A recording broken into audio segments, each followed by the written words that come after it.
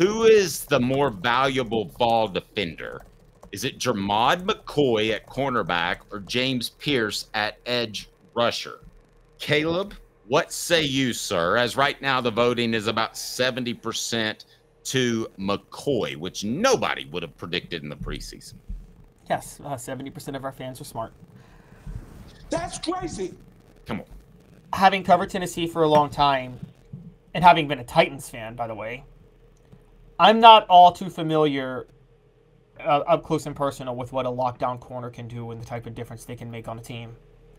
So I'm really seeing it for the first time. I mean, the closest Tennessee the Vols ever had, Dave, was Dwayne Goodrich in '99, but they ran so many zone blitz schemes that you didn't really no no cornerback really locked down a side of the field under Chavis during that year.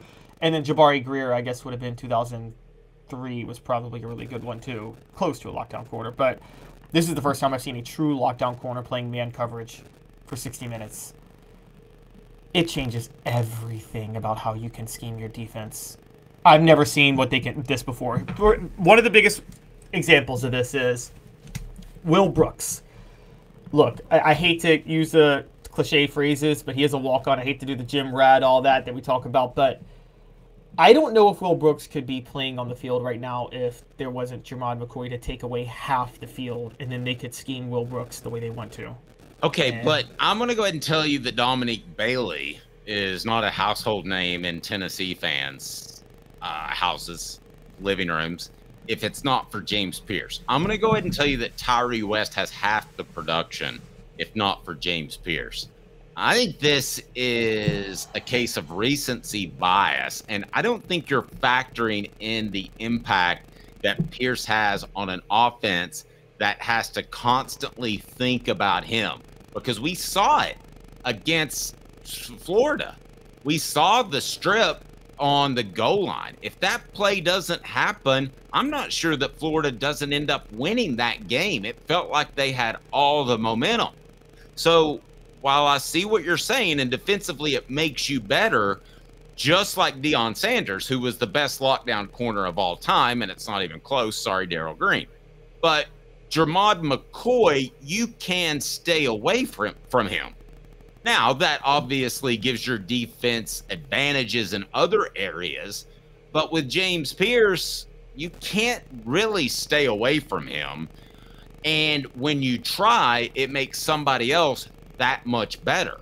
I don't know that Jermod McCoy's play makes anybody more productive on defense. I just think they're playing well as an entire unit. Whereas I think Pearce's play makes other people like Tyre West and Dominic Bailey more impactful. We want your votes on the poll question and then uh, tell me why I'm right or wrong. Hit that like and subscribe button. Caleb, uh, defend your Jermod McCoy as best you can. Okay, so there's a few things here um, that we have to unpack. One, uh, I actually agree with you about Dominic Bailey and Tyre West. I think James Pearce does impact, and I think we both. I think you and I are both. What we're saying, we're not trying to disparage the other one because they're both incredible. But I think one, you bring up the James Pearce forced fumble. That was incredible. Jermod McCoy had the greatest fourth down pass breakup I've ever seen in Tennessee football history. Uh, in that same game, I have never seen a cornerback be able to close on a receiver like he did on that fourth down pass, jump in front of the play to knock the ball down, and not even make contact with the receiver. Dave, do you know how? I mean, you you've covered football. Isn't that one of the hardest, most impossible things to do for a cornerback? In that sure. play? Sure. And I thought too that I thought that his interception showed something of his natural instincts. Because the first thing I said when he picked it off is don't leave the end zone. I don't know about you. But I was like, down it, down it, down it. And he brought it out and he ended up approximately the other 40. So um, that that's his aggressive instincts, which I love. I do love that. But I think Pearce does a lot more for you well, from an entire defensive standpoint there's another layer here. If Pearce were to go down, look, Pearce does a lot. He does affect the defense. But if Pearce were to go down, Dave, you would still say the defensive the defensive line for Tennessee would be playing B plus football, right? Yes, but I think Rickey Gibson is really good at corners, so I don't think they would take a massive fall off if uh, McCoy. Oh, I think they would. I think they would. I think I, I don't think Rickey Gibson is bad, but Dave, you, you've covered football a long time, and you know that number two corners can look pretty good until they're asked to cover the number one guy, and then they don't look so good anymore. And I think that would happen to Rickey Gibson. Um, There's some truth of that. There's yeah. some truth to that. Ken says so, the Vols are so deep at defensive line they can still get pressure without yes, Pearce. It would not exactly, be nearly, Ken. It would not be nearly as easy. And also, by the way, look, I'm going to say it, and I know he ran into the punter. The only reason they're equally good. The only reason Pearce is starting over Jordan Ross is because of seniority. But Jordan Ross is as good. And I'm telling you guys that right now. So if Pearce went down, Jordan Ross could do the same thing. We've seen Joshua Josephs do similar things when they give Pearce a break um, every other drive. Tennessee, uh, Tennessee has three to four elite, elite edge rushers right now. Pearce is just the best of them. Jermod McCoy goes down. All of a sudden, Rickey Gibson is going to start getting cooked all the time because they're going to put him on the number one cornerback. Everybody's going to be questioning why Will Brooks is out there because he's just not fast enough to cover that much of the field. Okay, he's fast enough to cover a much shortened version of the field. I think I, I, I think you can. Uh, it's it's crazy again, I, am watching this for the first time in my life, guys. I never really was an Arizona Cardinals fan, so I never got to see Patrick Peterson. I watched him some at LSU, but I've never seen this before. They put Jermod McCoy on an island, and they literally roll everybody else to the other side. Everybody, and they're like, "Nope, you can handle you can handle this by yourself." And I, I, I didn't believe that whole lockdown island thing, Revis Island. And I'm watching it now. I'm like, "Oh my gosh." That really makes a difference. It's huge. More than even an edge rusher to me to a certain degree. And so I'm going I'm I'm I'm going Jermod McCoy's more important also just because there's nobody to replace Jermod McCoy. Now nobody's going to be as good as James Pearce, but are you telling me other players can't be as effective as James, similarly effective to James Pearce?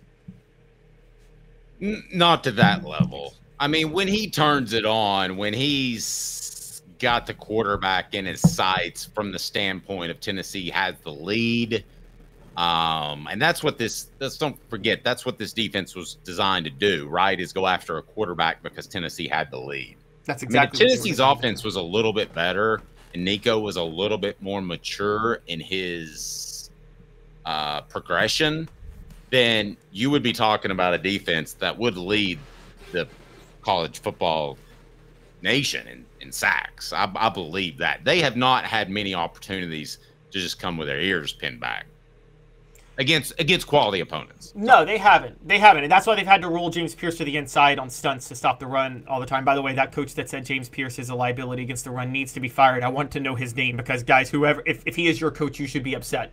He's a li- he doesn't know football. You're okay. referring to that athletic story, and we talked about it in retrospect. I'm not sure it was worth talking about. And that's no offense to the writer, David Ubben, who did it. I, I thought he did a great job, but I just felt like there were a lot of lies in there. I felt there were a lot of things said to prop up people um, uh, General Ursus says Will Brooks deserves a scholarship. He has more than proved himself. Brooks made a shoestring tackle in Milroe, and he actually saved two touchdowns against Alabama. And then had the interception. He absolutely sucked the life out of North Carolina State. But let's clarify this, and I'm glad this came up. You can still call him a walk on, but it's not like back in the day because you have NIL money. He's his family's not stroking a check for his tuition. No, they're not. And uh, also, again, I'm not. I'm with you guys. I love the way Will Brooks plays. I think he, but, but, because Andre Turrentine is a is is is barely a par safety. I mean, he's he's borderline subpar, right? Will Brooks? No, Andre Turrentine. Oh, Turrentine, yes, he's yes average. Because Turrentine is just average, and because Boo Carter is still young and not always in position at the nickel spot, Will Brooks would not be able to have the freedom to do what he's able to do if Jermod McCoy weren't doing what he were on the outside. Because the truth is, Will Brooks is not, he's not Deon Grant, okay, guys?